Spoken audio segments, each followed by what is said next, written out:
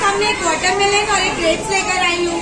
Watermelon के benefits ये है कि वाटरमेलन गर्मी में हमें ठंडक पहुँचाता है। ये एक कोल्ड फ्रूट है, जो हमारी डाइजेशन प्रॉपर करता है और हमें ठंडक भी देता है। गर्मियों में ज़्यादा से ज़्यादा वाटरमेलन का सेवन करना हमारी हेल्थ के लिए बहुत फ़ायदेमंद हो जाता है। और ये ग्रेप्स है। ये ग्रेप्स भी बहुत बेनिफिशियल होते हैं। इट गिव्स अस हेल्थ हमें हेल्थ प्रोवाइड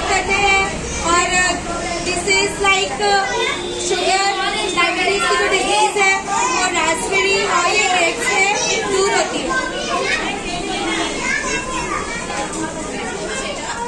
ऐसा